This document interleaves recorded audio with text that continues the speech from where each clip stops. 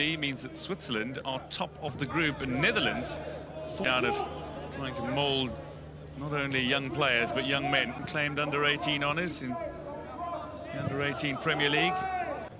Josh Kofi Acheampong. He's proved to be a bit of a goal scoring defender this season as well for Chelsea. Can work the ball with either foot. Dibbling. In towards goal and strike early courtesy of Ethan Nwaneri top goal scorer in qualifying. He scored the opening goal for the Young Lions. The 16-year-old from Arsenal gets in behind his defender Zebic. And Nwaneri makes no mistake from close range. Featured in every one of the qualifiers, netting once. Nwaneri. Nwaneri again, combined. Ricochets kindly for Lalic. The Hajduk split players.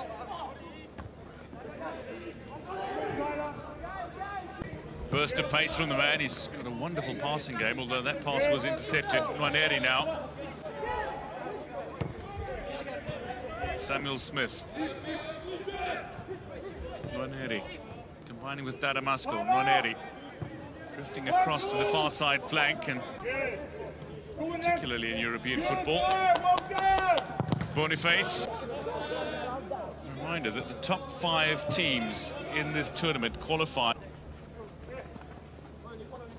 Markovic loses out possession to Nwaneri, the 17 level. Bedford approaching the hour mark and England maintaining their one goal advantage.